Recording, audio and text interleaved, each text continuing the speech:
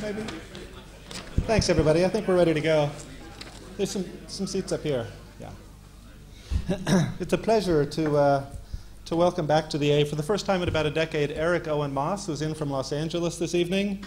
Uh, uh, Eric has written of his work, and I think it's, it's no false claim that, that the primary goal of what he seeks to do is really to investigate the concept of change in the world. And I think for a lot of architects, that would be a kind of boast, but I think the career and the body of work that Eric has been pursuing for many years in Los Angeles is absolutely focused on the question of change in the urban environment today and the way in which the projects we create are an adjustment to, a building upon, or a transformation of the city that we find. I think it's a curious and, and kind of fascinating irony that that's taking place in a city like Los Angeles, a city in which change is built in as a given but never really meditated upon as a kind of topic. It's just accepted as the nature of the world found there. But since 19, in the late 1980s in Culver City, Eric, uh, working with a partner and client in that part of the city, has over what must by now be several dozen projects, individual building projects, explored over and over again the question of how buildings and architecture can really mediate um, let's say, the post-industrial transformation of the cities that we live in today. And, and um, like many things in, in, uh, in the world, uh, things happen first in, in California, and I think the, the consequences of a post-industrial neighborhood like Culver City, where Eric has been working, offered Eric and his practice an opportunity to work through those issues in ways that really are creating a kind of prototype model for how other places, including cities like London, can address those kinds of problems. One of the brilliant things I think about those projects that Eric has been pursuing in Culver City, within a very contained and, and um, distinctive neighborhood or district in Los Angeles, is that he's been pursuing this work um, with a client and a partner that shares his vision in treating those kinds of problems as forms of experiment and investigation. And in fact, Culver City is, is a remarkable laboratory, really, of ideas and experiments uh, at the scale of a small city right now in which those things have been worked through.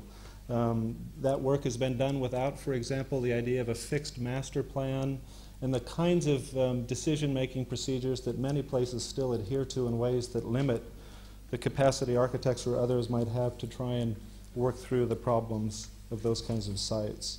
Um, as a part of, uh, of that work, really, there are two two themes that I think all of you will know have run through his work over and over again in those projects. Um, certainly, the first one would be the topic of complex geometries and very, very intricate and studied um, interpenetrations of volumes, surfaces, materials, and structures into one another, including new space and new programs interjected into existing buildings and, and buildings treated very much as found objects.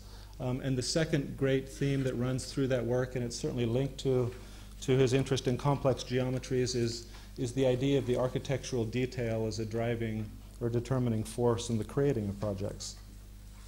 Uh, along the way, I think the discoveries of his work um, in Culver City and other projects in Los Angeles have really created a kind of template for what's becoming an increasingly um, prominent topic in the question of sustainability and the actual regeneration of cities um, to keep bringing them alive in different ways.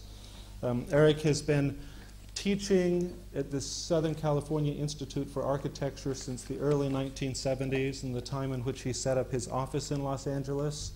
And for more than 30 years has been contributing to the life of that school. And I think one of the few schools in the world that that um, uh, operates according to the kinds of principles we take for granted here in the creating of a, of a very complex and dynamic architectural culture.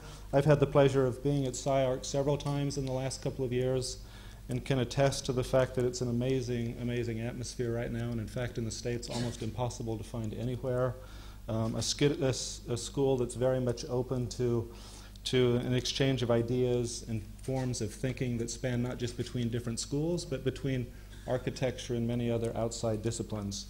Um, that's very much the creation of, of, Eric's hard work, the last few years especially, since he's become director and head of that school. And I think since 2002, when that work started, the school has only gotten better and better in terms of what it offers as a setting for its students. Um, the work of Eric, uh, Eric Owen Moss has been published and exhibited worldwide. Um, and he has been uh, a visiting professor on the East Coast in the States at Harvard and Yale and other schools, and in Europe, in Copenhagen and Vienna, uh, and many other places. Please join me in welcoming Eric Owen Moss.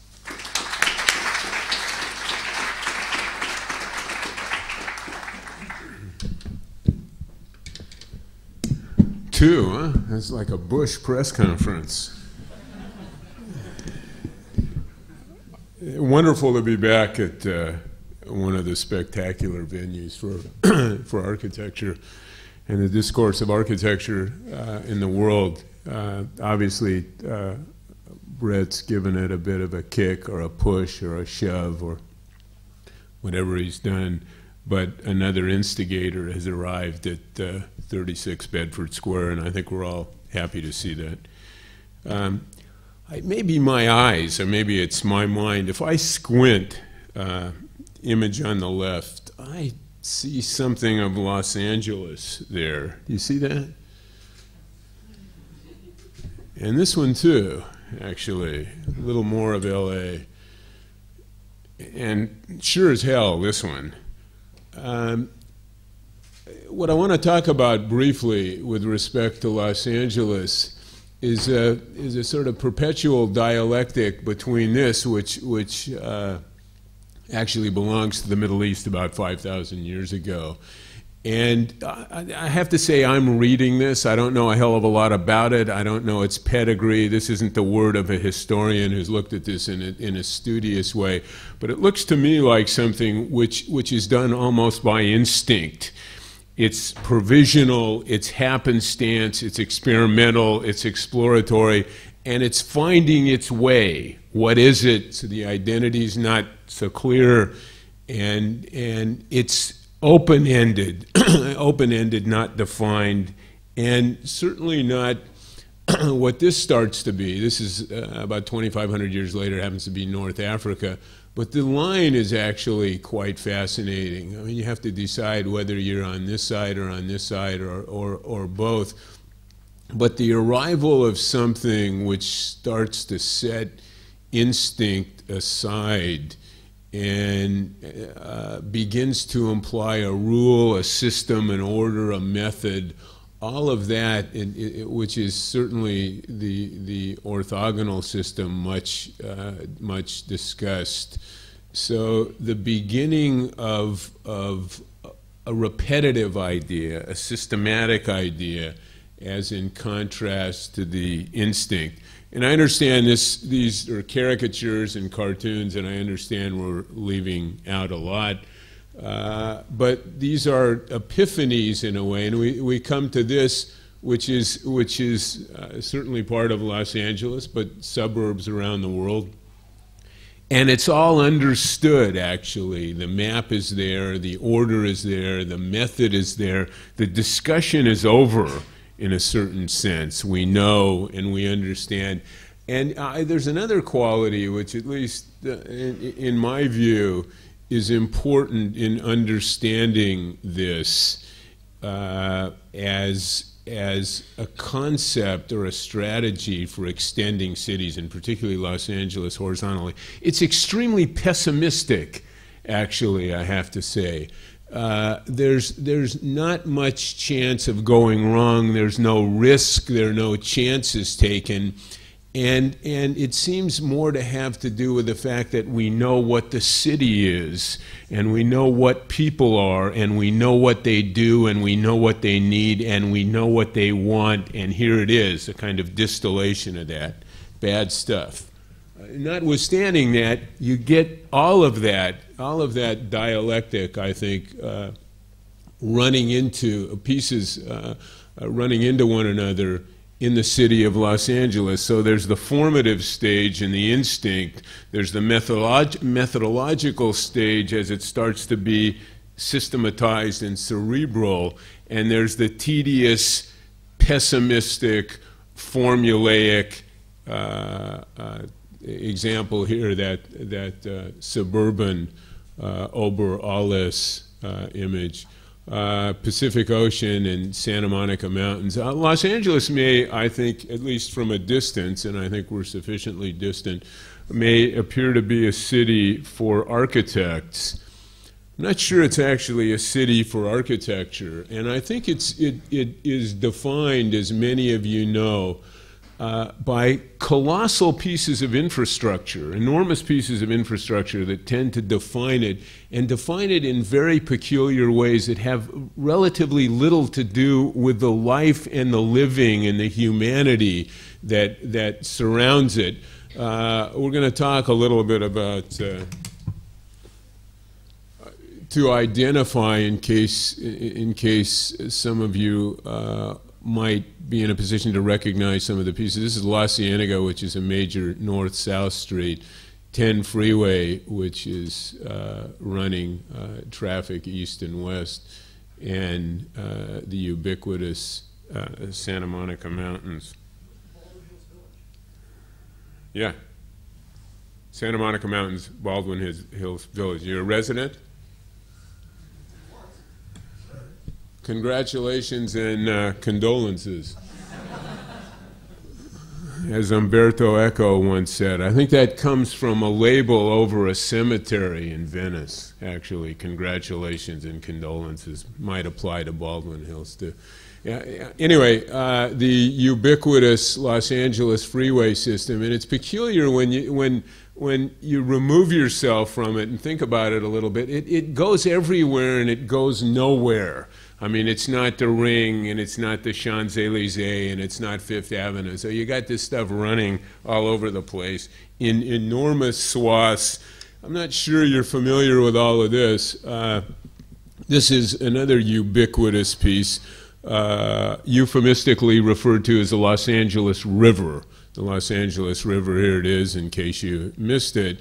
And it seems to have been, it's, it's, it's a, a fairly typical piece of, of uh, logical civil engineering within the context of the logic of somehow keeping this water from going up here, which it seems to do about every 50 or 60 years. Apparently, there was a river which, which, which was uh, slightly more um, uh, appealing in an aesthetic sense than this and used to overflow its banks from time to time. Ergo, uh, the city uh, fathers, I guess I have to say fathers and mothers, uh, made a determination about 25 years ago, and this is a, this is a kind of WLPA project, the kind of project that came up during the Roosevelt administration in response to the Great Depression in America.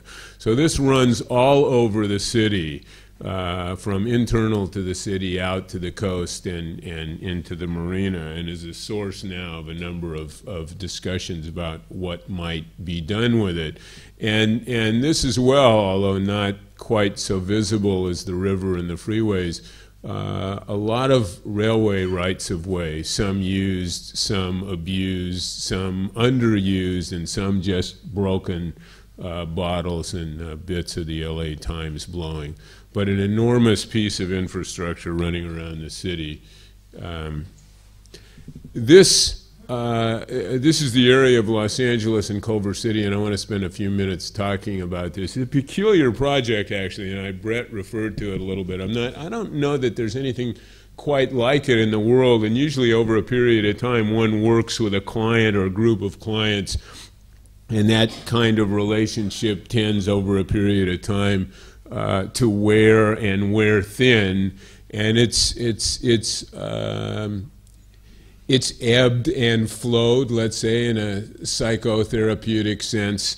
Uh, over the last two or three years, uh, they've not built very much, but but uh, they've turned that around, and there are a number of projects I'll show you that are that are in the offing. But again, back to the discussion of the role of infrastructure in the city. Uh, this was a major uh, uh, railway right of way.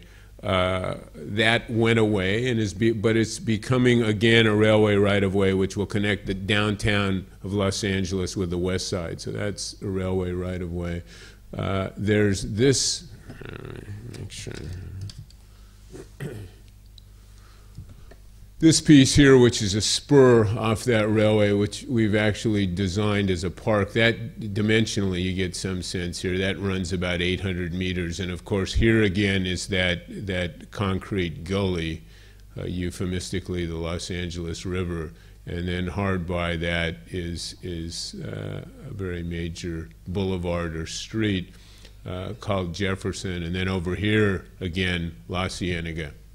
So the area we're talking about really is, in a certain sense, itself a piece of infrastructure, uh, which is to say, uh, this, if one wants to understand it. And, and for those of you who used to wander around East Berlin or Bucharest or south of Market Street in San Francisco or the south side of Chicago or the east side of St. Louis, I think it's important to understand that, that this condition, that is to say, a condition which once was the home of manufacturing, and for many years, manufacturing and industry, big warehouses, bowstring trusses, all of that, which ultimately dissipated and went first to Mexico and then maybe to Seoul and maybe to Tokyo and now is of course in Guangzhou and Chongqing and uh, and and that story's not ended either, although it's talked about as if China is the ultimate destination for for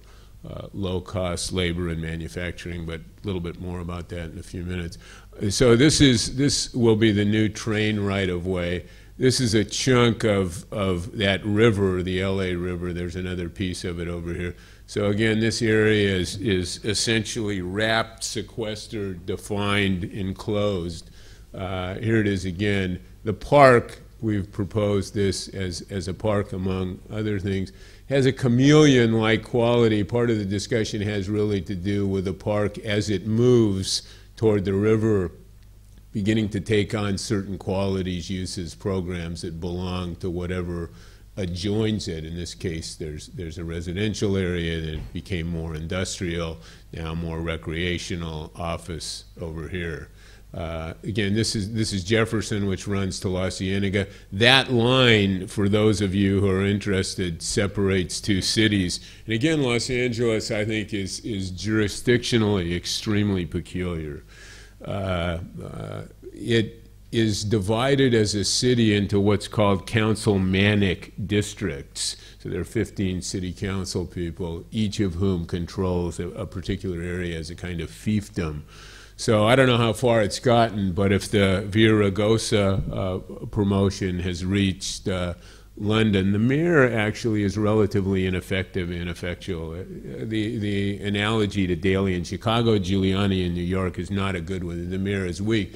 But in addition to that, as you, for those of you who have wandered around through Burbank and Culver City and Santa Monica and Beverly Hills and all of that, uh, find these separate and distinct jurisdictions. So what appears in a certain sense, a kind of generic homogeneity of city, uh, is in fact a number of discrete jurisdictions, and it makes it very difficult to develop policies that go that cohere because there are always impediments as one runs from one city and one jurisdiction and one fiefdom uh, to another.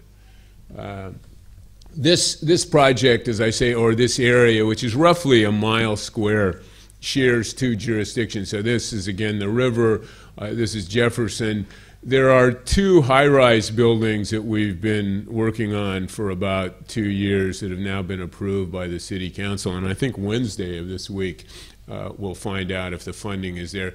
Uh, they're not big buildings in the sense of, of, of the Loop or uh, Manhattan. They're about 250 feet high here and here. Uh, positioned now along the, the, the, the remaking of this train route from downtown onto the west side.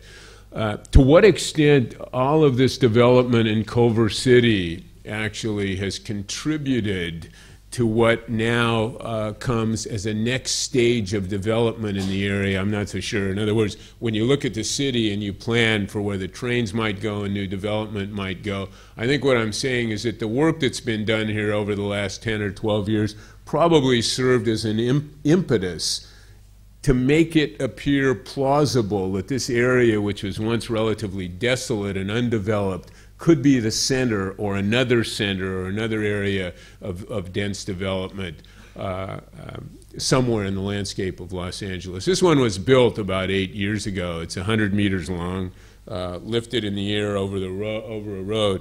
This, by the way, Uh, th- this is an early study of the high rises on the corner. There are actually two. This is won't be done.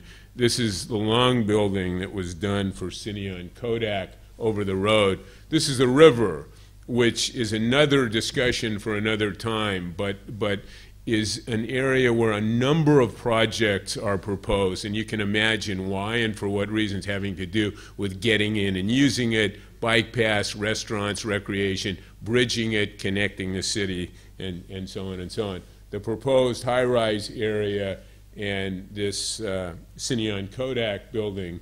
Uh, this is a study, one of many studies done in, this is the river, bike path, existing concrete, that, that 800 uh, uh, meter linear, more or less linear park runs to here, recreation center down into the river, across the river into the Los Angeles section of the site. And this gives you an idea about, about uh, the sense of that, the bike path, the bridge, the power pole stuff, uh, antennae, there are TV, radio stations around here. And in fact, the big block is, is something in and of itself of a piece of infrastructure, the bridge, a hunk of the freeway, and so on. This is a site uh, for the Cineon Kodak building. That's that block which is lifted in the air over a road.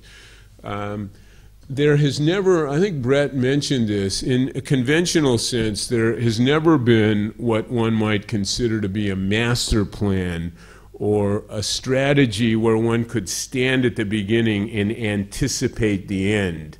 I think what, as in that initial uh, 5,000 year old diagram, it's all been provisional. And if there's a paradigm, it is in fact, I think, what we'd call a provisional paradigm. So there are efforts made, there are strategies taken into account, tactics developed, buildings built, uh, and then it either works or it doesn't work or it's modified and it's adjusted. So over a period of time, the, the, the, the vision of the area or the view of the area has continued to evolve. And now it's, it's being added to by other forces, the train and other development around uh, the area. I, for instance, there was a hypothesis originally when we were doing this. And I have to say, by the way, this is not the demolition discussion, which was so familiar and, and, uh, and, and I think much celebrated in Charlie Jencks's discussions about blowing up Pruitt-Igoe knock it down, start over again, and all of that. What we've done, actually, I think, has taken the, the industrial or ex industrial buildings, ex manufacturing buildings, and used them, in a sense, as marks on a paper which couldn't quite be eradicated. So there's nothing sacrosanct, particularly, about the buildings. They're not historic in, in a unique way. But in the aggregate, they form, I think, a special kind of infrastructure. So they're, uh, they're used, reused, abused, amended, adjusted, portions removed, other, uh, other pieces are added. So there is in the aggregate, I think, a sense both what the city was and some acknowledgement of that not so much in a conservation conservative sense, but where pragmatically or practically those elements were, were utile or useful in the remaking of the new building programs. And then, of course, a, a sense of where the city might be heading. Uh, the next group of buildings, this is the building lifted up in the air over the road. Uh, I, I, started to say the original intention um, to coin a cliche was that the proles, so to speak, the ex manufacturing industrial uh, constituency would belong to the ground. The Kodak uh, company would would remain on the upper two floors, and the building, in fact, was imagined that way. So there are decks and roofs and spaces, in a certain sense, to segregate. Whether this is confirming a kind of conceptual segregation of, of, of occupancy in social classes. So this we can discuss at another moment. It didn't work anyway, because by the time the building was built, there was no manufacturing on the ground, there was no industry on the ground. And in fact, not only did Kodak take the piece in the air, but they took about 100,000 square feet on the ground. This is a building under construction. This is the area where the high rises will go. This is, this is uh, where the train uh, will run up from the center of the city. And again, a sense that this building belongs to, to a language of infrastructure and bridges and freeways. That's where you get out. You actually drive under the building, drop off, and then come out of this piece. This is a deck actually designed for the uh, local inhabitants who wanted to air it out, smoke it out, and things like that. Uh, this is another, I think, uh, conceptual experiment that has to do with rethinking how buildings might be adjusted or amended or reused or in some cases eliminated. Again, there is no a priori rule system. But what happened here, this is actually existing masonry. Uh, the company is a company, international media company called Pittard and Sullivan. Uh, and uh, they brought their program to us. And essentially, what we did is to leave the original masonry and wood frame construction, which is a series of bowstring trusses, and then build a four story steel frame, steel tube, Y flange beams over that original wood structure. So it's a hybridization of two languages or two types or two eras. And they're, they're actually uh, quite unusual space uh, configurations that result as a consequence of putting together these two languages that one would never find together. I mean, the old wood and the old bowstring and, this, and, and the steel frame. This, uh, for instance, not sure how legible this is, but the steel frame somewhere in the discourse, the bowstring somewhere in the discourse, and then the imposition of this shape or space or program that actually had to do with the organization of the building at the entrance and the lobby. You can see here off there's there's a central corridor which is designated by the original posts uh, which supported the uh, bowstring trusses. It's peculiar, and I have to say, uh, for all of those of you whose ideological perspective precedes what you design and what you build, we of course imagined that uh, you can see the steel frame here. We imagined that, that the wood frame would remain and that the steel would be imposed, steel structure would be imposed on it, over it, and so on and so on. And of course, that didn't work. The contractor came in and said, no, no, no, that's a pain in the neck. Let's not do that. They took all the wood down, took the wood down, put up the steel, put the wood back. Uh, you're going to have to tell me whether conceptually, intellectually, or ideologically that's acceptable to you or not. We could discuss that, but that's how they did it. This is the, the lobby. I mean, it frankly didn't bother me at all. Uh, and it's, I mean, it, it occurs to me, in, in first Rizzoli book we did a number of years ago, I remember writing an essay trying to deal with these multiple perspectives or, or the tensions between possible strategies. And I had, I had written uh, an introduction called Which Lie Do You Want to Tell? Uh, and David Morton, who some of you may know is the editor, still is at Rizzoli, changed it to Which Truth Do You Want to Tell? Which, which, which uh, sounded slightly more congenial. And it, it, it, may in a conceptual way, because we deal with these, these kinds of questions, we in this context and also out in the street, in terms of a, hyp a hypothesis or a strategy which gives, which is which gives an underpinning, an intellectual meaning to what's done. And all I'm saying is old, uh, old building, bowstring trusses, existing structure, save the structure, get rid of the rest of the building, impose the new building, and, and, and the final building in the aggregate is the amalgamation of the two. And that we had, but the, but the way that it was done, and initially the reason for doing it, that the, that the wood had a kind of stability and durability and presence, actually turned out not to be quite the story. So I let you in on that secret. Uh, next one was, uh, was a little project done with Peter Sellars uh, for the LA Phil, uh, slumming in Culver City. while the uh, Disney concert hall was germinating. And at the time, uh, there was a question of whether the Disney concert hall would be built at all. And this is a kind of bandbox uh, for, uh, but a classicist bandbox, I have to say. Uh, for uh, 25 musicians from the LA Phil who would perform in this bandbox uh, for this audience. Also, a discussion of options for the inside of the space and inside outside. And a lot of this, this uh, glazing, again, depending on the constituency for the discussion, is often accounted for as it's acoustic you know, the configuration of the glasses also has some truth, but is not all of the truth. And I think we'll have to decide how much of each. But the musicians would sit here. This is, this is actually that bent glass roof. There are 17 uh, laminated pieces. Each one of those is different.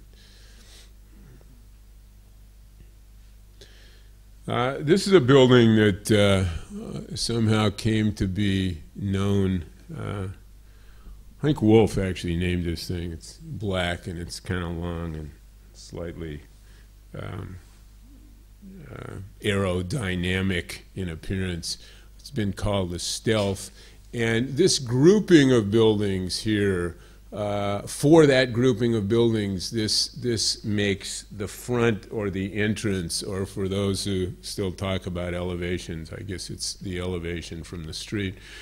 And one of the intriguing questions about these areas, again in Berlin and in Bucharest and the south side of Chicago and all over the world, is the place is poisoned. Uh, the land is toxic. And, and so, again, like the concrete river and like the infrastructure of industrial buildings and like the hypothesis, which is a hypothesis until it's no longer a hypothesis, this is, again, one of the, one of the constituent ingredients in dealing with all of this work. Um, and what we had to do uh, uh, in order uh, to go forward, you can see there are these three bowstring buildings, fairly conventional stuff.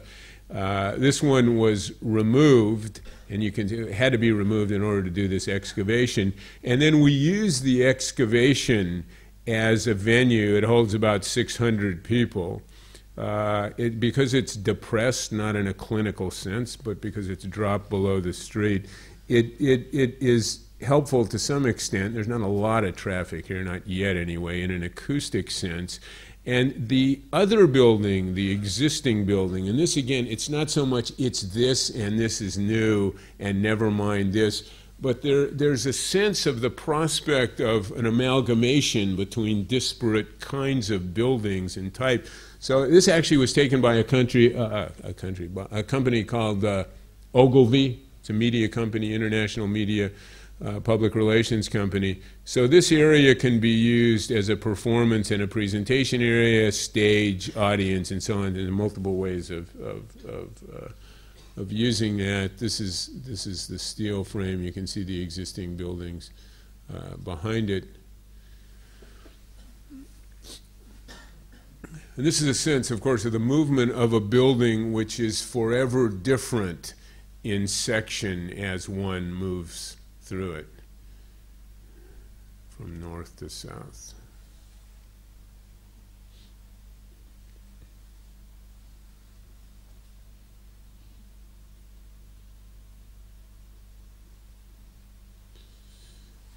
And this is the this is that garden presentation area, those steel rollback doors.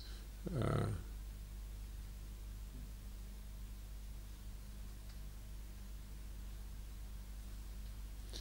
And then the back, which uh, faces into that public space, and I'll speak about that in a minute. A very different hypothesis and an interesting strategy, I think, has to, again to do with not so much disowning this, this existing warehouse area, which is again a kind of agglomeration of wood frame buildings put up for pragmatic reasons or prosaic reasons, and we need a little more, we need a little less, or we need a little bit of light. And essentially, what we did is just cut out of that and, and remove it, as you can see, and then introduce, and this, this has to do with a piece on the street, a hypothesis that is a constructed way of imagining the movement of structure. So these they're a series of, of tubes which can lean, extend, incline, depending on the exigencies of the site or the program.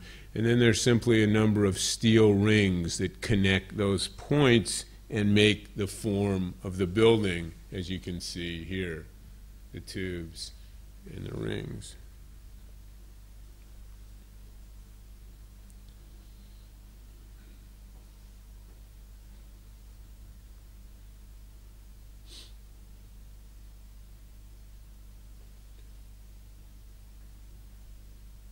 This happens to be a media center and a conference room. Uh, this project is entirely new. Uh, it's, it's part of what, in the aggregate, has come to be a community of, of uh, companies that surround this space, including this music venue. It's not finished, uh, and we're hoping that it will be. It's, it was built as a very simple parking garage uh, which holds about a thousand cars. And then there's a small office building of two floors, uh, which is constructed on the top of it and is a consequence of the extension of the legs of the column systems uh, that support the parking structure. This is the original sketch. And uh, the building program is given by the tenant. Deposited in a way that focuses both on the enter, on the entrance, both to the building and to the garage, ramps up, ramps down, height limit. You just saw removed. Got to keep parking on the roof. It's Los Angeles for the moment. The entrance to the garage, but this is the area which is very much seen. Um, as one enters that space behind the stealth. There's a little bit more.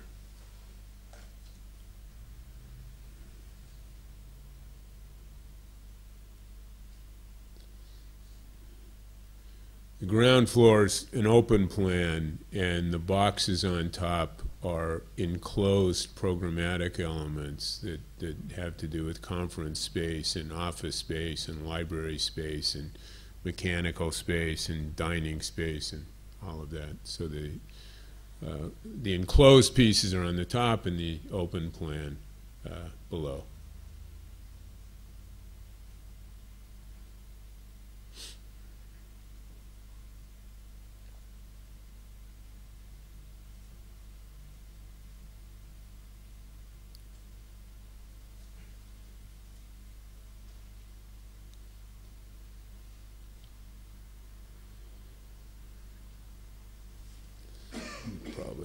probably enough of that. This is the site uh, presently constituted.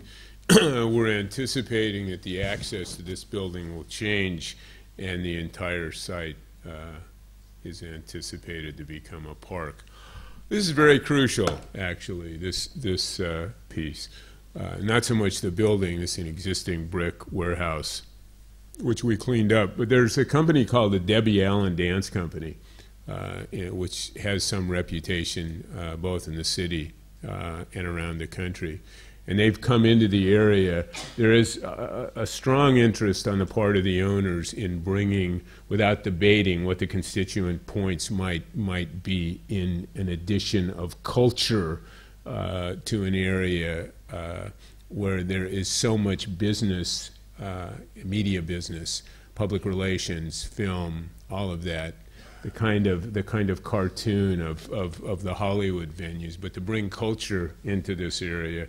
And the success of the uh, Debbie Allen uh, Debbie Allen Dance Company. Again, this is this is the this is the park, the ex railway spur running off to the river. The high rises over here, and there's we we have proposed, and now this has just been approved uh, with something called an environmental impact report uh, which is not about the environment and not about, not about impact. It is, I guess, a report. But such as it is, uh, we've gotten approval to make what is essentially a populist theater.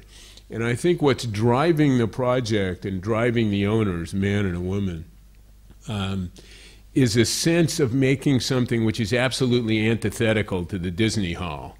And I don't mean that in terms, in, in terms of, of appearance, but in terms of who is likely to be the attendees. Uh, it's expensive as hell. Uh, there's a relatively, I mean, it's the gray haired constituency, as it's referred to in Los Angeles. And the notion here on the west side of the city is to make a very different venue, much more economic, uh, with not necessarily those who have, have the most astonishing global reputations, and, and to build the arts and theater again in a very different uh, in, in, a very different cultural context and to make that, that work available to a very different and, and uh, substantially larger group of people. So this is, this is the kind of thing that, that one goes through in order to make it clear to the client that the decisions that he's about to uh, observe are logical and rational whatever the truth of that. But this is a program, the, the, the, the uh, you'll have to judge, and I, it's, it's too late for me to lie to this audience, uh, but uh, the proscenium uh, venue, again, the park that adjoins, and we're using the park, and then, and then an outdoor uh, performance venue, a theater in the round, um, a theater above, which is essentially just a large open space, retail, uh, the requisite retail uh, to pay for what the theater may not be able to pay for, an office block, and of course the parking component, largest of all.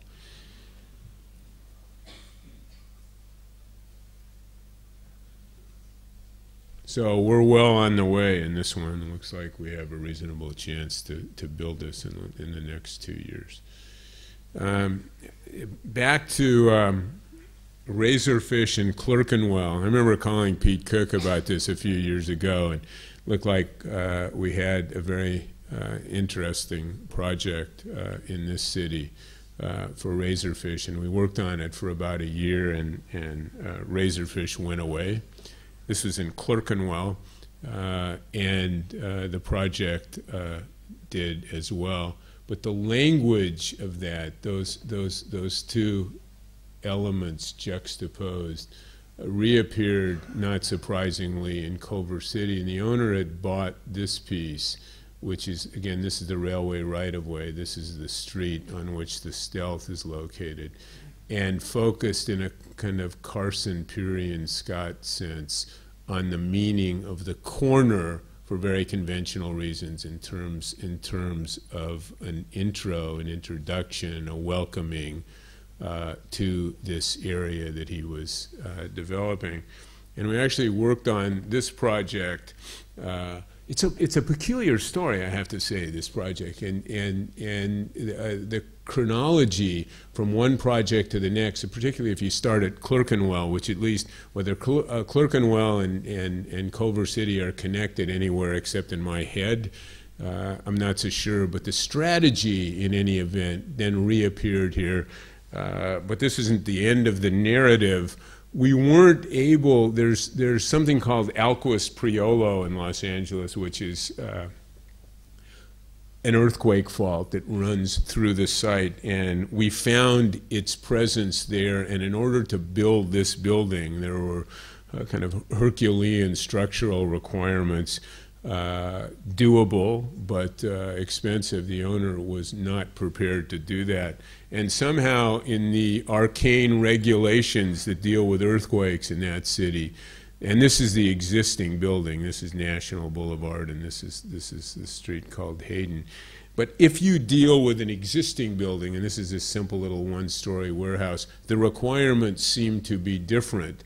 So we then proposed a different project. This is actually a parking area here, and there's a kind of little Champs-Élysées that leads into the building here. And there, and, and, and then a courtyard, and more about that courtyard a bit later. And then this area, which was a conference room on the ground floor, and then broke into a series of smaller conference rooms above. And all of this still retained the, the organizational argument, prosaic though it may be, of the presence of this building on the street, ergo an introduction uh, into the area, into the neighborhood. Uh, and we've uh, looked at milling techniques, looked very carefully at this, and each stick in the making of this conference building was different. We're actually doing this now, not on this project, which will not be built, but on, on something for a company called the Tennis Channel, which seems to show everything but tennis. But the technique was learned. I think it's important. I think it's a, a, a crucial for students that, that uh, it's, it's, I wouldn't necessarily ring uh, my hands if these proposals succeed or don't succeed because over a course of time they seem to resurface and reform and what's learned if it's substantive is actually durable even if the project shifts to a somewhat different uh, venue anyway the the existing warehouse and, and the courtyard and, and the uh, uh, courtyard again I'll say something about that in a moment with that glass roof. Then uh, in in this uh, uh, Umberto Eco narrative, Nike arrives. There was yeah, you know the the the the again ubiquitous designers company. So we had we had a kind of up and coming avant-garde plausible tenant for whom these pieces seemed to work and work quite well. Nike arrived as they say in Los Angeles, hasta la vista to the previous company. Nike then became the tenant, and Nike is now the tenant. And Nike wanted to get into the area. More a different discussion for a, for for a different context. But this piece came to be less than what it was, and we thought they would then do that. Uh, ultimately, they rejected both that structure and the courtyard structure and we've now moved out, so we've gone from Clerkenwell and the rope to the large structure, to the courtyard structure, to the conference structure, to the reduced conference structure, to this piece now on the corner, which is the latest. So don't give up. Uh, and, and so, so this now, you know, we get the hell out of Nike's perspective, maybe. Uh, so we're debating this now. And again, if, if you come back to the reason the guy purchased the building and got the corner was here we are in, in, in the most conventional billboard like uh, sense. And we're, we're developing this piece now, which, which is a series of, of, of platforms with, with elevators and stairs and projection capacity. And, and, and these oriented in very particular uh, directions, this to the Santa Monica Freeway, and this to the street, and this to the corner of Jefferson and Jefferson, and so on. So I'll, I'll be back in a year or so. We'll see what happens to this, but it's, uh, Arup is, uh, LA Arup is busy at work on this, so it looks like uh, um, we're going to do it, this study model of the project. Um, I want to talk a little bit about a few competitions that we've been involved in uh, in the last uh, year or two. This was done, this is called a patent office building. Uh, it's in Washington, D.C., and this was an invited competition uh, won by one of yours, uh, not one of mine. Uh, Sir Norman won this one. he beat us by one vote. Uh, I'm sorry to say, this is this is the, uh, but he isn't. This is the Smithsonian. It's a wonderful, wonderful project and a very special opportunity. And to the extent that there is a pedigree of American art and invention, so maybe this is a, a, a debatable point. This is the existing Smithsonian, and the project actually was to enclose this courtyard and to make it democracy's room. Uh, that may have something to do with whether the current president moves on or not, but anyway, the, the nomenclature was democracy's uh, room. That is to say, to cover that courtyard and to make it the usual multi purpose, flexible space, and, and, and, and so on and so on. Exhibits, dinners, and uh, and in, in, the brief, they, they, they, argued persuasively that there were no venues like this in Washington, D.C., and of course, one could imagine why there are none. Anyway, this is, this is uh, the proposal that we made. and I think it's quite fascinating. Again, it showed up in Culver City, and I think we'll find we'll find a way to do this. The the impetus or the inspiration actually comes not from Sunday in the Park, but but uh, a Seurat painting that some of you may know, with with which always interested me actually, with with a subject matter that was almost always conservative as hell, and a technique that was always a radical one. So somehow those two put together uh, in a number of Seurat's painting, and the sense of this surface, of that glass surface, I think. Uh, also, this one, that some of you know, Terragni and, and, and the Danteum. But uh, without going through all the details, we developed a method for using glass cylinders uh, in compression as struts in a structural system. So the glass was to be used structurally to support the roof and in this space, and this is, this is the plan, there were two venues hypothetically proposed in the brief, one the long way, one the short way. And the cutting, so you can, you can see here a kind of inverse topography of the bottom of the tubes, which, which tells us how the tubes are cut or shortened or extended. So that gives you, in a sense, the profile of the underside of the glass tubes, which are not structural in that case, but are acoustic. So they, in the end, were acoustic, they were structural, uh, they were lighting. And uh, they were afraid we couldn't build it actually, in the end. It, we, we lost three votes to two, but, but I think they were apprehensive. We've now gone further, I think, working with Cricursa in Barcelona, and there's also a company in Shenzhen. It can be done, it can be built, and some of the Arup guys in, in, in, uh, in New York who are uh, extremely helpful. So I think we can do it, and we'll find a way to do it. This is another one uh, uh that uh, ran about, I don't know, a year or two years ago in Guangzhou. So this is the Pearl River.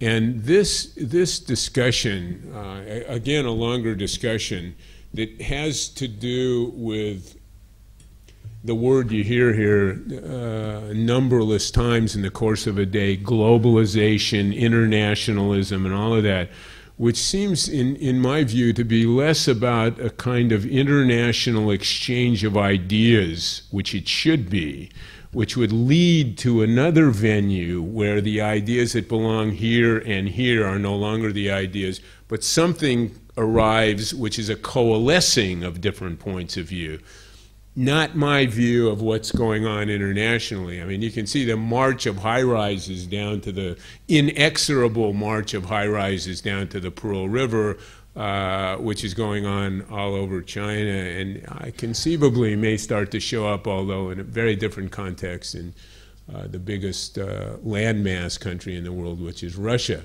So everybody is running to China and, and, and taking a shot at a high rise. And uh, the, the, the project program had to do with uh, an opera house. Here's uh, Guangzhou and the Pearl River, the visiting team, but you know, the inexorable march. And then we said, wait a minute, let's not do that life one person at a time, and a cultural component. In other words, please turn your head. Don't go this way, left or right. Uh, Miss Hadid won this one. This is an opera house. The museum is over here. So these two pieces, uh, road blocking the march uh, to the sea. And uh, just briefly, we, we proposed something uh, with the intention of, of, of becoming a kind of constructive obstacle to introduce a contradiction, an intentional contradiction in terms. And these points which begin, uh, begin to rise out of this are the four uh, programmatic centers that belong to the museum. So this is uh, uh, Zaha's piece. And this is an early study of, of the museum, the glass forest,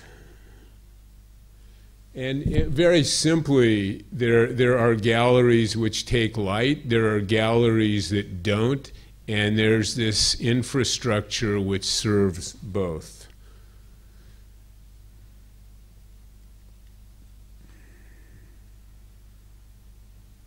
Glass forest.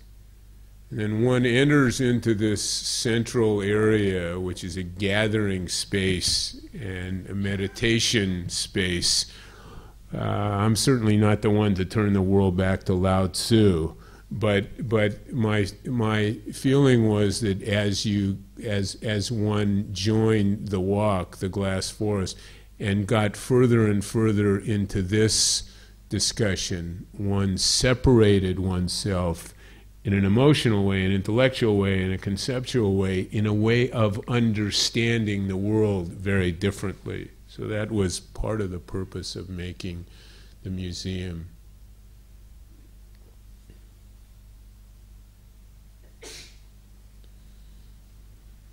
The Pearl River is just on this side.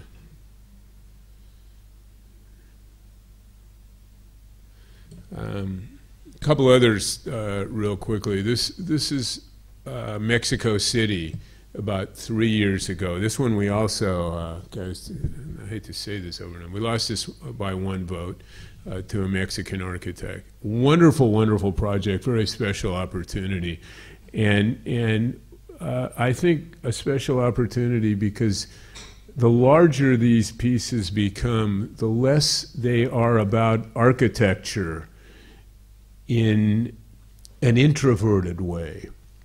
They have much more to do with the remaking of, in this case, Mexico City, the distribution of information, the re education of a population, uh, which needs that kind of support and input in order to start to come to terms with conditions that exist in the world today. Uh, this is a train station, runs about 300,000 people a day in from the suburbs, and this is a site uh, for the Mexican National Library now, where this is train station. We're looking at it uh, in the opposite direction. And this was part of a stage one, uh, which, which is the Champs Elysees of the books, and then an intervention of local streets, the development of an acoustic barrier with respect to the trains, the division of the, of the project into program the opening of a series of courtyards with respect to the sun, and then the development of this big public space which joined the train station and, and the library cultural center. Uh, in this area here, I think what's what's fascinating for all of us that don't have the answer for you is that in these projects, whether they're in China or they're in Mexico, and we're coming up to one in, in, in St. Petersburg, there's very much a question for me of trying to understand what obligations, what insights, what history, what tradition belong to a project that is Mexican or Chinese as opposed to simply saying, well, we know how to do this, we know what it looks like, we did it in Culver City, I want one over there and one over there and one over there and one over there. And I know there's a, there's, there's a lot of that. And in addition, what is Mexico? What is contemporary Mexico? What is contemporary China? And we've had a number of discussions like this. I know there's a wonderful Siqueiros mural, maybe some of you know it, with, with the uh, Spaniard and the Indian head to head like this, but with no meshing of the two. So one is discrete and the other is discrete, but they remain tied together. So, how to transform some of those traditions and issues and ideas? It can't be it's square and red and blue and I like Barragan. You know, it can't be like that. Or I went to Teotihuacan, you know, let's do some of that uh, or the roof needs to, you know, all, all of this. But it is a, a, very substantive question. I think it's a question, it's a question for me, but it's very much a question for your generation. How to share that kind of, you know, I, I mean, I spoke facetiously of Lao Tzu, but Lao Tzu has probably more of a pedigree than Steve Jobs. And, and, and, and I, that juxtaposition is at least worth talking about and it's not talked about much. Anyway, this, this is the uh, original uh, proposal. And we went into the finals, and I'll just show you some of the images of the project.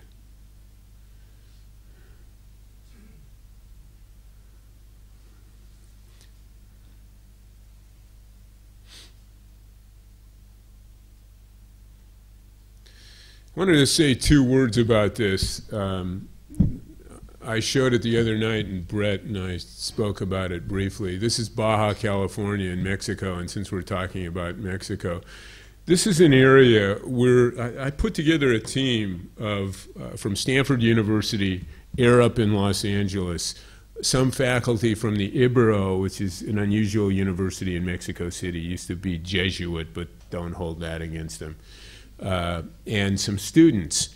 And a client by the name of Miguel Aleman owns an enormous chunk of land. He's a media guy, film guy. Uh, uh, just bought 10 airliners, uh, making a kind of American uh, version, a Mexican version of JetBlue.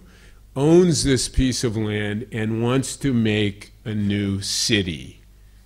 And it's on the coast, owns the land Grandfather built Acapulco.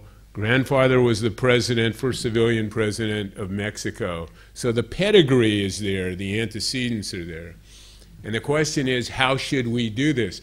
So when, when we lost the library competition, he called me and I went to say, can you come down and we talk about this a little? And I wasn't, in, given other responsibilities, I wasn't in a position to do that in my office and I proposed to him, and, and this may be a solution actually, and an important one, to make what is a slightly more ecumenical team, less an issue of this is the way I make it, you know, in other words, not a stylistic discussion, which is not to, to be overly pejorative about style, but strategic, organizational, conceptual, environmental, Mexico. How do you do it? And uh, long discussion, uh, we don't have time for it here, but it, it seemed to me that it's suggestive of a very different way of working. It involves businesses and consultants. So we got Arup, you certainly know Arup, so we got Arup involved in it. We have another university, so this is not, this is my school, no, this is your school, we don't talk to each other. We have a Stanford Humanities Lab, we have SCI-Arc, and we have a university in Mexico City, and we have some faculty and so on. So it's a, an amalgamation of, of different schools, of professionals, academic and so on, developing a strategy for this piece which is actually not small, and it's it's in a very fragile and precarious area, in an area where the Cancuns and the Ixtapas and the Havanas and the Waikikis have set, and the Acapulcos have set a precedent for many many years. And we discussed this, Aleman, and discussed it. Uh, he and I discussed it in terms of, of what we didn't want to do. So, with all respect to where you people take your vacations, no Club Med. Didn't want to do that. Uh, so uh, this, this gives you an idea of the size of the piece, um, about uh, five miles by uh, three miles. And, and uh, in comparison to the downtown of Los Angeles, you know, so this is a big, big piece. What, uh, the other thing I, I, I forgot to say, is that all of the discussions, and many, many discussions that we're having, the Culver City, LA discussion, you could have it in Mexico City, you could have it in Guangzhou. Um, how do cities grow, and particularly cities that are growing at a colossal, colossal rate? How do you plan in a way, and so far we haven't been able to do this, that anticipates or keeps pace with the change of the city? Now we got a very different question here. What we got here is nobody there, nothing there, vacant, beautiful, spectacular. In, in America, if the Sierra Club were to get a hold of it, essentially they would say, okay, Miguel, you can build your house out there, build your house, and get out of the way. You can't touch it. We didn't accept that. I think what we were very, very interested in was trying to develop a conceptual definition for what might be intelligent environmentalism. Big discussion sustainable or whatever they call it. The United States government now is requiring architects to talk about sustainability. So you can see that's already an antique term. And we weren't, we, we weren't particularly interested in a conventional definition at all, uh, or, which is to say, what would constitute a plausible and intelligent way to deal with this land, but to deal with it in a substantive way, not to disown it, not to put three small buildings on it, but to allow it to be what it is as a unique and beautiful and spectacular environment, which has a lot of risk, by the way. You climb around this place, and it's dangerous to keep some of those qualities, but at the same time allow it to be inhabited somehow so that the inhabitation of that kind of place doesn't substantially contradict with what it is when it isn't inhabited, which can't be done. I mean, we know that. So we're trying to find a way to, to, to put those two together. And we had four ways. This is, this is uh, what it looks like, give you a sense of that. Uh, spectacular. You can walk across this thing uh, when the tide is out. Um, this is, uh, I, will just show a couple of these things. This is one scheme. There were a series of pieces, and, and this, is, this is, in a sense, what we originally called the sarcophagus scheme. Uh, we're presenting it to Alemán in, in, in uh, next week, I think, in Mexico City. Sarcophagus probably didn't sound like the kind of thing. Guess what we brought you? A sarcophagus. Uh, but but the but the sense was, and this is this is one argument that that the meaning of the building would be more covert than overt, more buried, and this of course has to do with uses and energy and you know what can you bury and what can't you and so on and so on. Um, and there's there's another piece in here not very well illustrated. This is the existing road. We leave all of the site or virtually all of the site come in here, you park, and there's a tunnel which is, Arup can talk about this better than I can, but which is, which is engineered in an aerodynamic way. And it moves the air through it, actually, moves the air through it, which is drawn through it by these two towers, which, heats, which, which heat up, pulls the air out, and we do a lot of heating and cooling and so on, and a number of, of other strategies. The, the buildings exist orthogonally, but some of that terrain is actually reconstituted, but it's not reconstituted as it was, but as, as rocks which also participate in the environmental cooling. So this is one strategy. Very different one uh, of, of the four was, excuse me, was called uh, the, the side scraper, uh, which has to do there's so many issues here, and I'm afraid I, I, am I'm, I'm, I'm not giving a fair report to you about what it means. But essentially, in this scheme, the area of just the coast would be used in access, and the rest of the site would essentially be left naturally, uh, could be hiked on and camped on and so on. but the substantial building would only be on the perimeter. Uh, again, this is, this is the uh, this is the bay. Uh, and you would have to, there's a little town called La Paz of about uh, 200,000 people. This is, by the way, relatively close to Cabo San Lucas, so that area uh, you may know. But that emphatically was not what we wanted to do, not what we wanted to produce.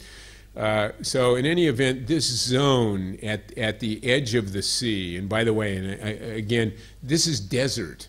So the, uh, the, other, the other odd environmental condition is that one normally doesn't find a Gobi next to the, to, next to the Atlantic. Here, very unusually, you have the coast and the coastal climate, and then you have the desert climate together. So that amalgamation is yet another uh, piece of the story.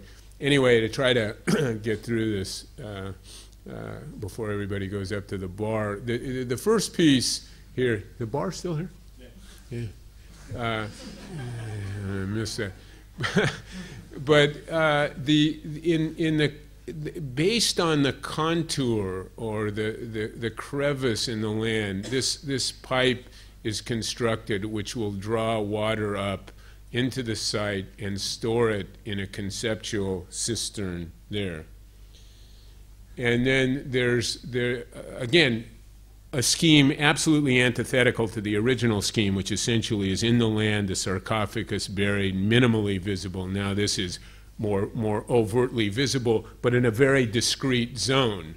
Uh, so now a system of, of verandales which will uh, hold the building program, and then the building program and a support system. Uh, the water actually is pulled in, cools. This, this, this happens during the day and then is released again, producing energy. It goes back through at night. So it's a, it's, it's a cycle that runs over the course of the day. And of course, this, the, the presence of the sun and then the louvers and the photovoltaic, photovoltaic walls.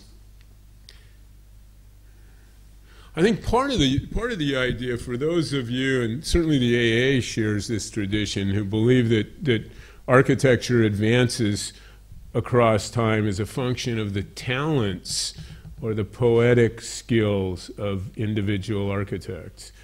And uh, I certainly wouldn't want to deny that. In fact, I'd like to confirm it. But in addition to that, I think what was important about this project, and conceivably important to all of us, is that the, the discussion of architecture and building in cities also advances as a consequence of new information and new sources and new participants.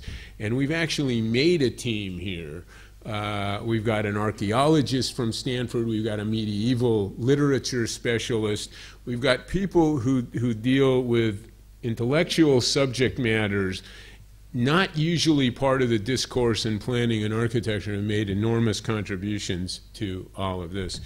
Uh, this is the museum, Queens Museum, which we uh, won uh, next to the Grand Central Parkway, Robert Moses, all of that uh, another story about how one makes makes cities. Uh, Robert Moses certainly a critical figure, a kind of Haussmann-like figure in a way. Original building uh, was used uh, by the United Nations uh, from 45 uh, to 1950. Uh, and what was an essential part of the conceptual remaking of this existing building was the General Assembly area, which existed here, and we swung around to that position. Uh, I show you this because I think I guess it's the biggest model in the world or something. Uh, whatever consequence that has, I'm not sure, but it is of New York City, and it is one of the important exhibits in the Queens Museum. It's called the Panorama, and this was the poster. this is the poster uh, when when we uh, won the project and it was exhibited at the Architectural League. And essentially, what we did is is this is the original building. Opened the space, developed something called the uh, opened the space for an exhibition and performance venue. Built something, took the earth here and built what we called the acoustic mountain, which buffered the Grand Central Parkway excavated this area for, for seating and performance, and then covered the building with uh, what we call the glass drape.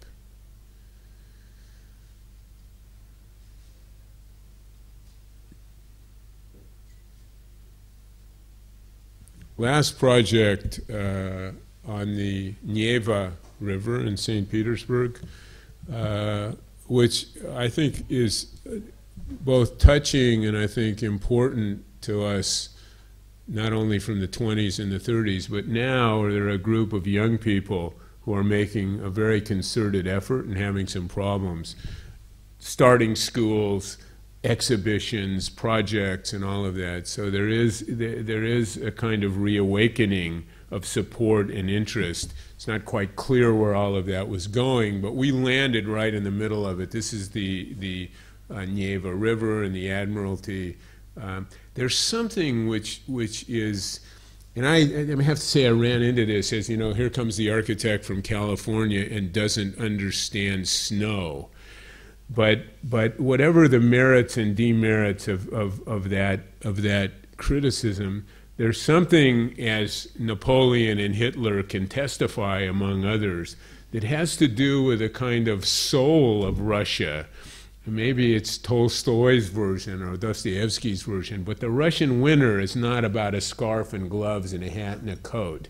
It, it, it, it, it, it, it's, it's so endemic and so intrinsic to the sensibility. And one comes to understand that. I mean, this has a little bit to do with a point that I was trying to make and probably didn't make so well about the interrelationship between big ideas that move driven so often by business around the world, and what kind of reciprocity, what kind of exchange there might be from other places. And the Russian winter is a component of that, actually. It means something very substantive. I I'm not going to go through all of this. This is, this is the central historic district uh, of, of St. Petersburg. Uh, belonged to Peter the Great, as you know, it uh, started 1703, 1704. Uh, this is about 1,500 meters, and there were two competitions which we won originally, one here for New Holland, uh, and the other one here for the new Mariinsky. This, uh, this is actually an island surrounded by water. And uh, one, one has to understand St. Petersburg as either, depending on how you translate it, the window on Europe, Russia's window on Europe, or window on the West. Um, not so clear St. Petersburg plays that role anymore. There used to be a sense that St. Petersburg was going out, overt, uh, extroverted, and that Moscow was somehow the real Russia I mean, you, you, couldn't get Rasputin in St. Petersburg, which you sure as hell could get him in Moscow. But Moscow somehow something Russified in a way that St. Petersburg was not about. So they weren't speaking so much French in Moscow. I mean, this is the kind of thing you pick up in Anna Karenina. There's still something of that going on, although we, we had a lot of trouble with the residue of, of the commissar class so, it, at least in my view, St. Petersburg has actually become the conservative city, and Moscow actually the city where there's much more of an impetus for moving moving Russia forward in a building sense, not necessarily in in uh, a governmental.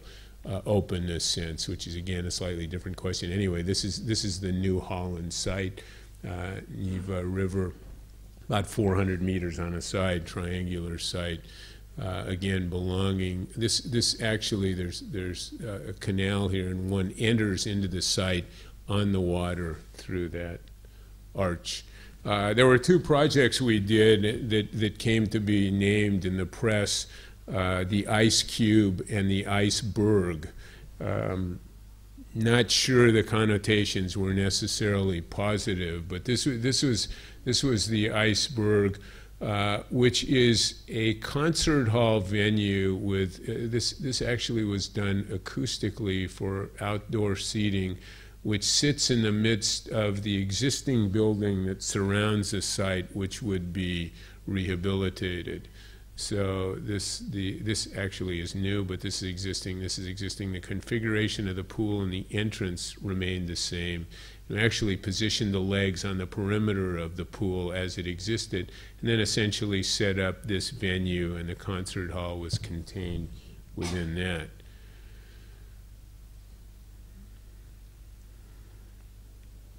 Next one, uh, next and last was uh, the Mariinsky Theater, um, which, which I have to say raised a lot of controversy uh, that I really never anticipated. And they, they exhibited, the Russians asked, and we agreed to exhibit the project in the Russian pavilion in the Biennale, a couple of Biennales uh, back. And I think the doing of that, and maybe that was premature, raised very substantial opposition. This is the canal, by the way. This is the existing Mariinsky, new Mariinsky site. Mariinsky is the Kirov, the Kirov ballet. So we're talking about Nureyev and people like that who are so, so remarkable that if they were in Southern California, they wouldn't need a theater at all. They can dance on the street corner. Wonderful, spectacular, unusual, inventive, creative, imaginative. Run by a guy by the name of Valery Gergiev who was a great supporter and great friend uh, of ours. Uh, this is this is the uh, original Mariinsky, which will be rehabilitated in 19th century building. You have to guess what that is. Uh, this is this was this was uh, the original proposal. There's a guy by the name of David Sarkisian, I'm going to have to tell this uh, little anecdote, who runs the Shukov Museum. It's, it's, it's a very unusual uh, architecture and design museum in, in Moscow. And every time we'd come into the place to present a project, he'd grab all the drawings and put them in the archive. And I kept, that, you know, why the hell are you doing this? And, and in the end, I think the, the pessimism, the, the, the unlikelihood that this would ever come to fruition, I think was very much a sense in his museum, and even from the people who, who did everything they could to support the project. This is just a series of organizational. I, mean, I have to say, and I, I, don't, I don't want you to giggle about this, whether it's eh, since we're in the halls of Ron Herron and, and, and Pete Cook and, and et al. But these are modules. Marcel Lods, Jean Prouvé, they're just a slightly different kind of module. And we develop them, and they're adjustable in terms of the logistics of a theater, meaning sitting and seeing and structure and access and all of that. So we began to make those pieces. And as we worked with Valeri, you know, can you see a little more here? Can you bend this? So they have the kind of malleability that a conventional, a, conventional module might not have. This is some. This was an original scheme. The use of the glass is, is a special subject, and we used some Arup consultants actually in London glass on the outside and glass also on the interior of the theater and investigated that in terms of its acoustic properties. And I think we demonstrated that, that, that it would work and would work in a spectacular way. Anyway, the, the, the competition after the Biennale, there were a number of people who thought the competition ought to be run again. It was run again. Uh, there was a question about whether we should participate. In the end, we did and there was an attempt to make an argument, um, and uh, you have to decide whether this was disingenuous or not, to link what we were doing with the, with the pedigree of Russian neoclassicism, which Russian neoclassicism means Italian, French, European neoclassicism. So much of that 19th century work did come from Europe. So, and it was interesting. I remember this. Was Wolf was sitting on the jury, and I, I was making this argument. I think it was with some uh, reasonable uh, skill. And he turned to me at one point and he said, "If I close my eyes, I believe you." That was a good, good remark. And I said, "Keep them closed." So the, the, the, tripartite argument, which you all know, uh, and we went through this and in, in a somewhat different version with a slightly different program, uh, but essentially uh, the same size uh, and obviously the same site.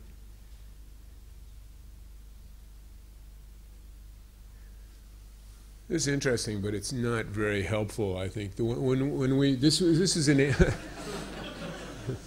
This is an animation that we made with Arup, and you have to run it very slowly, and you have to run it back and forth in order to show how sound is, is reflected and absorbed. But it is interesting in a conceptual way, in a technical way, because it translates what's auditory to what's visual.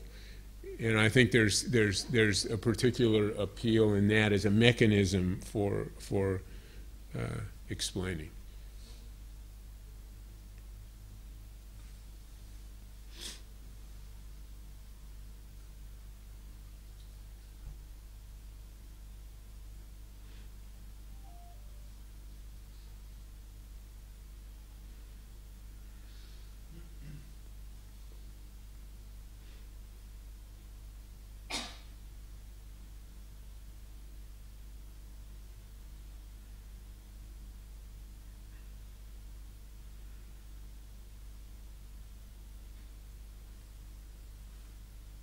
Is the requisite preservation uh, historic piece by a, by an Italian architect by the name of Quarenghi.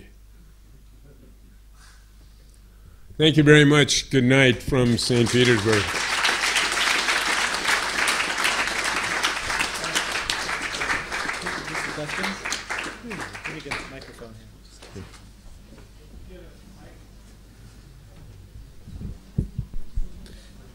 Any uh, complaints? Thank you, Eric. Maybe start with, I was just going to ask one question. I think, um, uh, and, and as you said at the beginning, I mean, time, time and the idea that these projects are occurring, particularly Culver City is now nearly two two decades, I suppose, nearly 20 years of work on the site. You've, you've been through you, have been through lessons over a very long period in some of these projects, and they they factor in, you know, the adjustment and the learning that takes place from project to project mm. as as the work keeps growing. Have any of the projects had phases built into them? I'm curious. The are they is that meant to operate at a larger global scale on the on the sites or the projects, or do they ever get built into the briefs and the programs of the actual buildings? I mean, I have to say, I'm uh, for all those of you who like projects in stages. Uh, the stages come almost inevitably. I mean, it's like getting gray hair, but you don't have necessarily want to anticipate it or get a can of spray paint. Um, almost always, in cases of phasing, we've lost elements of projects that I think were, were essential to the meaning of the work. I didn't show the, the image of the garage under construction, but the project where we built the garage extended the steel structure in order to, accommodate that two-story office building, which was uh, positioned strategically both to look across the river and to connect to the Kodak building and to look back to the stealth building. So there was it really was a very careful amalgamation of use and view and access and all of that. And so far they haven't done it. So the steel's flying in the air, and that's you know it hasn't it hasn't been done. Um, it's it's of interest to me, particularly from a sociological perspective, when we did the Kodak building, which must be I think I think the time is more. I think we've worked on that site for 14 years um, or all of those sites. And, and as I said, when we did the Kodak project, that, that area was understood very conventionally as a relationship between uh, those in suits, those who worked with their hands, who should go where, on what basis, new building this, existing building that access to trucks and service and all of those things, which were very carefully discussed, argued, debated, constructed, and by the time it, the, the building was constructed, as I think I mentioned, it didn't operate that way anymore. So the sociological uh, sociology had moved much faster than the architecture could anticipate. Um, there, there have been discussions about this project over a period of time in terms of questions that are usually referred to as master plan questions. Because master plan implies some kind of, well, implies some kind of master, implies some kind of plan, implies some kind of sense of a chronology or a sequence or an order or a prioritizing system. And I think in a city like Los Angeles, which is as fluid as is, and important to understand this, I don't know that I made this clear.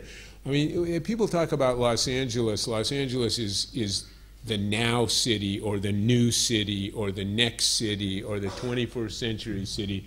I'm not sure any of that's true it may just be an anomaly, but the problems are always juxtaposing, you know, is it the next Venice and is it Rome and is it 7th Avenue and 5th Avenue and the Ring and, and, and all of that. I think it's an adolescent city, actually, with whatever connotations adolescent might bring. It doesn't know itself very well.